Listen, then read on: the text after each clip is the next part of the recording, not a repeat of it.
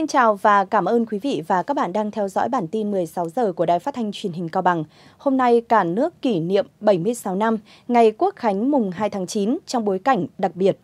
Mở đầu bản tin, như thường lệ sẽ là những thông tin trong nước đáng chú ý. Ngày 2 tháng 9, ngày Quốc khánh của nước Cộng hòa xã hội chủ nghĩa Việt Nam đã trở thành một ngày hội lớn của toàn dân tộc.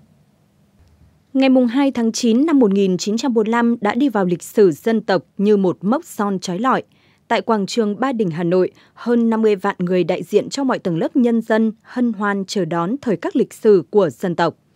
Sau lễ chào cờ, Chủ tịch Hồ Chí Minh thay mặt chính phủ lâm thời trang trọng đọc bản tuyên ngôn độc lập, trịnh trọng tuyên bố với quốc dân và thế giới sự ra đời của nước Việt Nam Dân Chủ Cộng Hòa. Kể từ ngày cách mạng tháng 8 năm 1945 thành công, Việt Nam đã đi qua nhiều giai đoạn bước ngoặt, vượt qua nhiều thử thách và từng bước phát triển, hội nhập sâu rộng. Tuyên ngôn độc lập là văn bản quan trọng bậc nhất của lịch sử Việt Nam hiện đại đã khẳng định với toàn thế giới về chủ quyền độc lập tự do của Việt Nam, đưa nhân dân ta thoát khỏi thân phận nô lệ, một cổ hai chồng do ách đô hộ của thực dân phong kiến kéo dài gần một thế kỷ.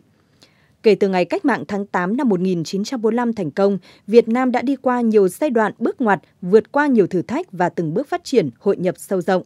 76 năm qua, mỗi người dân Việt Nam luôn cảm thấy vinh dự và tự hào về nền độc lập tự do của đất nước đã giành được và thêm tin tưởng vào con đường mà Đảng và Bác Hồ đã lựa chọn. Ngày Quốc Khánh cũng nhắc nhở chúng ta, những thế hệ hôm nay và mai sau trách nhiệm gìn giữ, vun đắp để giá trị ý nghĩa vô cùng lớn lao, sự vô giá của độc lập tự do luôn được trường tồn. Trong bối cảnh dịch COVID-19, kim ngạch xuất khẩu nông sản 8 tháng qua vẫn giữ được đà tăng trưởng. 8 tháng qua, nhiều nhóm hàng nông sản, lâm sản giữ được mức tăng trưởng giúp cho xuất khẩu vẫn đạt 15,4 tỷ USD, tăng gần 15% so với cùng kỳ năm ngoái. Nỗ lực nhất là ngành thủy sản đạt 5,6 tỷ USD, tăng hơn 7%, rau quả đạt 2,5 tỷ USD, tăng gần 12%, hạt điều đạt 2,3 tỷ USD, tăng hơn 15%, cà phê đạt 2 tỷ USD, tăng 1,1%, cao su đạt có mức tăng ấn tượng nhất là 1,9 tỷ USD, tăng 60%. Sắn và các sản phẩm từ sắn đạt 776 triệu USD, tăng hơn 28%. Tuy nhiên, theo đánh giá của Bộ Nông nghiệp và Phát triển Nông thôn, tốc độ tăng trưởng xuất khẩu của tháng 8 đang có xu hướng chững lại. Từ nay đến cuối năm, những thách thức đặt ra với xuất khẩu nông sản sẽ là vấn đề cần sớm giải quyết. Nếu không, mục tiêu đạt kim ngạch 45 tỷ USD trong năm nay sẽ khó có thể trở thành hiện thực. Theo Bộ Công Thương, điểm sáng xuất khẩu thời gian qua có được phần lớn là nhờ Việt Nam đã tận dụng rất tốt lợi thế từ những hiệp định thương mại tự do FTA thế hệ mới. Hầu hết các thị trường đã ký hiệp định đều có sự tăng trưởng so với cùng kỳ. Bên cạnh đó, việc tăng trưởng xuất khẩu còn đến từ chính nỗ lực của nhiều doanh nghiệp và bà con nông dân khi chủ động thay đổi để thích nghi. Bên cạnh việc tăng trưởng xuất khẩu còn đến từ chính nỗ lực của nhiều doanh nghiệp và bà con nông dân khi chủ động thay đổi để thích nghi. Tăng cường chế biến và đa dạng hóa thị trường cũng đang là giải pháp được nhiều doanh nghiệp lựa chọn. Ngày 1 tháng 9, ông Đinh Tiến Dũng, Ủy viên Bộ Chính trị, Bí thư Thành ủy Hà Nội, ký ban hành chỉ thị số 06 CTTU của Ban Thường vụ Thành ủy Hà Nội về tiếp tục nâng cao hiệu quả công tác phòng chống dịch COVID-19 trên địa bàn thành phố. Một trong những nội dung quan trọng là thực hiện quyết liệt, triệt để, nghiêm túc có hiệu quả thực chất việc giãn cách xã hội theo chỉ đạo của Trung ương, thành phố, đặc biệt là kiểm soát chặt hơn, cần thiết áp dụng cao hơn một mức việc thực hiện giãn cách trong dịp nghỉ lễ Quốc khánh mùng 2 tháng 9. Ban Thường vụ Thành ủy yêu cầu Ban chỉ đạo Sở Chỉ huy công tác phòng chống dịch COVID-19 thành phố, các địa phương, đơn vị, các lực lượng chức năng và các cấp các ngành, mặt trận tổ quốc, các đoàn thể từ thành phố đến cơ sở, nhất là người đứng đầu cấp ủy, chính quyền, cơ quan đơn vị các cấp, tiếp tục thực hiện nghiêm chỉ thị 05 CTTU ngày 30 tháng 7 năm 2021 của Ban Thường vụ Thành ủy về tăng cường trách nhiệm của hệ thống chính trị và người đứng đầu cấp ủy, chính quyền các cấp trong thực hiện các biện pháp cấp bách phòng chống dịch COVID-19, tập trung lãnh đạo chỉ đạo tổ chức thực hiện triển triệt để, nghiêm ngặt, quyết liệt, hiệu quả việc tăng cường giãn cách xã hội và các biện pháp phòng chống dịch COVID-19. Đặc biệt lưu ý 6 nhóm nội dung quan trọng cần tập trung thực hiện, trong đó trước hết, các cấp toàn thành phố phát huy cao nhất vai trò trách nhiệm của toàn hệ thống chính trị, cán bộ, đảng viên và nhân dân, nhất là cụ thể hóa trách nhiệm của người đứng đầu cấp ủy, chính quyền các cấp trong công tác phòng chống dịch bệnh COVID-19, đặc biệt là trong dịp nghỉ lễ Quốc khánh mùng 2 tháng 9. Các quận, huyện, thị ủy, tiếp tục coi hiệu quả phòng chống dịch làm thước đo năng lực uy tín cá nhân cán bộ, năng lực sức chiến đấu của tổ chức đảng, cán bộ, đảng viên, nhất là người đứng đầu, tuyên truyền quán triệt các cấp ủy, tổ chức đảng về vị trí vai trò của tri bộ, hạt nhân chính trị ở cơ sở, vai trò trách nhiệm của cán bộ đảng viên trong tham gia phòng chống dịch COVID-19 trong tình hình mới. Đồng thời huy động đội ngũ công chức viên chức, sinh viên, người lao động tự do trên địa bàn cùng tham gia phòng chống dịch. Tại tỉnh Bình Dương, số ca mắc mới ngày 1 tháng 9 là 3.440 ca, giảm 24% so với ngày trước đó. Theo Sở Y tế Bình Dương, số ca mắc mới tại Bình Dương đang có chiều hướng giảm. Cùng với đó, các ca khỏi bệnh xuất viện luôn ở mức cao trong những ngày gần đây, kỷ lục có đến 12.000 ca xuất viện trong ngày. Đây là những tín hiệu tích cực trong phòng chống dịch COVID-19 trên địa bàn tỉnh. Mô hình tháp điều trị 3 tầng đang đi đúng hướng, đội ngũ y bác sĩ nhuần nhuyễn, tự tin trong điều trị bệnh nhân COVID-19 cũng như việc số lượng F0 được điều trị chữa khỏi bệnh từ các khu thu dung, bệnh viện dạ trên cao, giảm áp lực chữa trị bệnh nhân nặng tại tầng 2 và tầng 3 chính là những điểm sáng khiến cho điều trị COVID-19 tại Bình Dương có những diễn biến khả quan cũng như số bệnh nhân được điều trị khỏi bệnh tăng cao. Tuy nhiên, tỷ lệ mắc COVID-19 tại Bình Dương ở mức cao so với cả nước, chiếm gần 5% dân số, nên tỉnh mong muốn tiêm vaccine phủ kín cộng đồng để phòng chống dịch. Bắt đầu từ hôm nay, ngày 2 tháng 9, Bình Dương triển khai tiêm vaccine ngừa COVID-19 quy mô lớn nhất từ trước đến nay với 1 triệu liều được chia sẻ từ thành phố Hồ Chí Minh. Thành phố Hồ Chí Minh đang bước vào đợt cao điểm xét nghiệm vùng trọng điểm lần thứ hai. Trong đợt trước, thành phố đã tìm ra hơn 64.000 mẫu dương tính trong hơn 1,6 triệu mẫu. Từ kinh nghiệm rút ra được hai bài học. Thứ nhất là phải tận dụng triệt đề thời điểm này để phát hiện người mắc COVID-19. Thứ hai là phải vận động người dân ở vùng đỏ hiểu và đồng thuận về xét nghiệm tầm soát. Tính từ ngày 23 tháng 8 đến nay, thành phố Hồ Chí Minh thực hiện gần 2 triệu test nhanh kháng nguyên tại những vùng nguy cơ cao, vùng cam và vùng nguy cơ rất cao, vùng đỏ. Trong đó, số ca phát hiện mắc COVID-19 chiếm tỷ lệ 3,6%. Như vậy, với tỷ lệ này, thành phố đã phát hiện khoảng 72.000 ca mắc COVID-19 khi thực hiện test nhanh tại các khu vực nguy cơ cao và rất cao. Thành phố đang thực hiện test nhanh trở lại những nơi đã từng thực hiện để tìm thêm ca mắc COVID-19. Kết quả sáng ngày 1 tháng 9 cho thấy tỷ lệ mắc COVID-19 tại vùng nguy cơ và rất cao chỉ còn dưới 2%. Qua từng đợt xét nghiệm, số ca F0 giảm dần. Hiện số ca F0 đủ điều kiện cách ly điều trị tại nhà là hơn 70.000 người. Tiêu chí để được cách ly tại nhà là người dưới 65 tuổi, không bệnh nền, không triệu chứng. Hướng dẫn test nhanh tại nhà kết hợp lấy mẫu tại khu phố. Nhiều vùng đỏ ở đây đang đẩy mạnh giải pháp này để nhanh chóng tìm F0, giảm áp lực cho hệ thống y tế. Tổ chức Y tế Thế giới hiện đang theo dõi một biến thể mới nữa của virus SARS-CoV-2, đó là biến thể B1621. Trong lúc data vẫn đang khiến đại dịch trên thế giới nghiêm trọng hơn,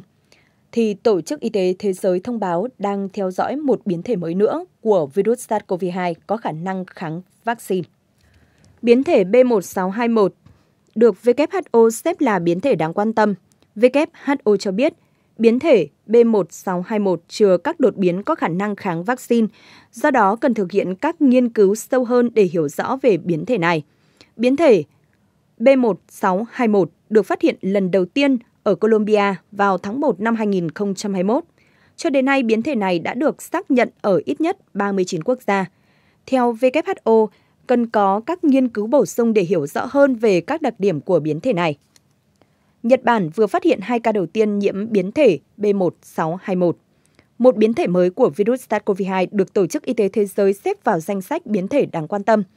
Trong quá trình phân tích mẫu bệnh phẩm qua kiểm dịch tại sân bay, giới chức y tế Nhật Bản đã phát hiện hai ca nhiễm biến thể B1621 là một phụ nữ từ các tiểu vương quốc Ả Rập Thống Nhất đến sân bay Narita vào cuối tháng 6 và một phụ nữ khác từ Anh đến sân bay Haneda vào đầu tháng 7. Bản tin tiếp tục với một số tin tức đáng chú ý trong tỉnh. Sở Y tế phối hợp với Sở Thông tin và Truyền thông chi nhánh Việt theo Cao Bằng vừa tổ chức lớp tập huấn ứng dụng công nghệ thông tin trong tiêm chủng vaccine phòng COVID-19 cho 25 viên chức y tế công tác tại các cơ sở khám chữa bệnh trên địa bàn tỉnh. Tại lớp tập huấn, các học viên được giới thiệu về nền tảng quản lý tiêm chủng COVID-19, bao gồm cổng công khai thông tin tiêm chủng, hệ thống hỗ trợ công tác tiêm chủng, hệ thống phục vụ công tác chỉ đạo điều hành, ứng dụng sổ sức khỏe điện tử, hướng dẫn chi tiết cách đăng nhập hệ thống, phân quyền quản lý, hướng dẫn chuẩn hóa dữ liệu, xuất nhập vaccine và vật tư tiêm chủng, báo cáo tình hình sử dụng vaccine COVID-19, hướng dẫn xây dựng kế hoạch nhập bổ sung đối tượng, 4 bước thực hiện tiêm chủng online. Việc triển khai ứng dụng công nghệ thông tin vào quản lý tiêm chủng vaccine phòng COVID-19 giúp các cơ sở y tế cập nhật đầy đủ, chính xác dữ liệu tiêm chủng lên cổng thông tin tiêm chủng phòng COVID-19.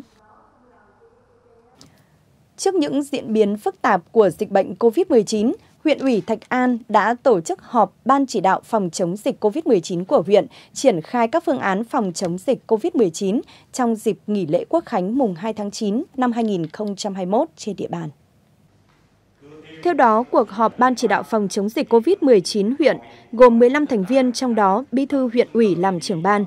Thông qua quyết định thành lập Trung tâm Chỉ huy phòng chống dịch bệnh COVID-19 của huyện, có nhiệm vụ tiếp nhận tổng hợp các ý kiến chỉ đạo của cấp trên, tiếp nhận các thông tin khẩn cấp về tình hình dịch bệnh trên địa bàn huyện, cũng như các ý kiến phản ánh khó khăn vướng mắc của các cơ quan, đơn vị, doanh nghiệp, nhân dân trong quá trình triển khai thực hiện các biện pháp phòng chống dịch – kịp thời chỉ đạo giải quyết các vấn đề phát sinh, chỉ đạo xử lý nghiêm các trường hợp vi phạm. Huyện đã thành lập 6 tiểu ban thuộc ban chỉ đạo, gồm các tiểu ban chuyên môn, y tế, an ninh trật tự, an sinh xã hội, tài chính hậu cần và lưu thông hàng hóa. Tại cuộc họp, Ban chỉ đạo cũng đã triển khai phương án ứng phó các tình huống dịch bệnh COVID-19 xảy ra trên địa bàn dịp lễ Quốc khánh mùng 2 tháng 9, với các tình huống khi chưa ghi nhận ca nhiễm COVID-19 và khi xuất hiện có ca mắc COVID-19 trên địa bàn và lây nhiễm trong cộng đồng. Tại huyện Hòa An, câu lạc bộ thiện nguyện Triệu Nụ Cười, Triệu Ước Mơ phối hợp với đoàn trường tiểu học Trung học cơ sở Bình Long tổ chức lễ khánh thành và bàn giao nhà tình nghĩa cho em Triệu Thị Trang, xóm Bình Lương, xã Hồng Việt. Em Triệu Thị Trang, học sinh lớp 7 trường tiểu học Trung học cơ sở Bình Long, huyện Hòa An, có hoàn cảnh khó khăn – mồ côi bố mẹ khi em chưa đầy 2 tuổi. Em có anh trai đang học lớp 9 tại trường nội trú huyện Hòa An. Cuộc sống của hai anh em chỉ nhờ cậy vào bác bá thứ hai trong gia đình. Ngôi nhà tạm, hai anh em Trang sinh sống bị xuống cấp nghiêm trọng. Sau hơn một tháng thi công, ngôi nhà xây bằng gạch, mái lập tôn, rộng 38 m2 đã hoàn thành với kinh phí 55 triệu đồng. Do câu lạc bộ thiện nguyện Triệu Nụ Cười, Triệu Ước Mơ hỗ trợ Triệu nụ cười, triệu ước mơ là dự án hoạt động xã hội của Hoa hậu các dân tộc Việt Nam năm 2011 Triệu Thị Hà, được thành lập từ tháng 5 năm 2015 với mục đích hỗ trợ trẻ em dân tộc nghèo, miền núi, trẻ em vùng sâu, vùng xa thông qua các suất học bổng vượt khó học giỏi. Nguồn kinh phí hoạt động của dự án được trích từ 20% tổng thu nhập hàng tháng của Hoa hậu Triệu Thị Hà, đồng thời vận động từ doanh nghiệp và các mạnh thường quân. Công an huyện Bảo Lâm vừa tổ chức hội nghị diễn đàn công an lắng nghe ý kiến nhân dân tại xã Thái Sơn. Từ đầu năm đến nay, tình hình an ninh trật tự an toàn xã hội trên địa bàn huyện Bảo Lâm cơ bản ổn định. Công dân xuất cảnh trái phép sang Trung Quốc còn xảy ra, tội phạm hình sự xảy ra 49 vụ, phát hiện và bắt giữ 25 vụ tàng trữ mua bán chất ma túy với 33 đối tượng, thu giữ 2 bánh và 174,98 gam heroin, khởi tố 21 vụ trên 26 bị can, truy tố 20 vụ trên 26 bị can, triệt phá 2 điểm tiêu hủy 371 cây thuốc viện, thu hồi 14 súng kíp, 2 nòng súng kíp, 9 súng hơi cồn, 1 khẩu súng hơi, xử lý 322 trường hợp vi phạm luật an toàn giao thông đường bộ, xử phạt 133 triệu đồng. Tại diễn đàn, người dân xã Thái Sơn kiến nghị lực lượng công an huyện và công an xã làm tốt công tác quản lý an ninh trật tự, an toàn xã hội, tuyên truyền người dân thực hiện tốt quy định pháp luật, giám sát chặt chẽ những điểm nhóm hoạt động tôn giáo, thường xuyên tuần tra, nắm bắt và xử lý tốt những đối tượng trộm cắp, đánh bắt cá bằng sung điện, đẩy mạnh công tác nắm bắt và thu thập thông tin truy bắt các đối tượng tàng trữ và mua bán chất ma túy, nạn cờ bạc trên địa bàn xã với tinh thần thẳng thắn, dân chủ, nhân dân đã bày tỏ các ý kiến về công tác giữ gìn an ninh trật tự, phản ánh thực trạng còn diễn ra trên địa bàn huyện và xã. Đến sự và chỉ đạo buổi diễn đàn, lãnh đạo Công an tỉnh đề nghị lực lượng công an huyện, xã luôn chủ động nắm chắc mọi diễn biến tình hình an ninh trật tự trên địa bàn, phối hợp chặt chẽ với các cấp các ngành để kịp thời báo cáo tham mưu đề xuất xử lý mọi tình huống xảy ra, chủ động nắm bắt tâm tư người dân, giám sát chặt chẽ các điểm nhóm hoạt động tôn giáo, tăng cường tuyên truyền nhân dân hiểu biết và thực hiện tốt công tác phòng chống dịch COVID-19 có hiệu quả. Bản tin 16 giờ chiều nay xin được kết thúc tại đây. Cảm ơn quý vị và các bạn đã quan tâm theo dõi. Xin kính chào tạm biệt và hẹn gặp lại.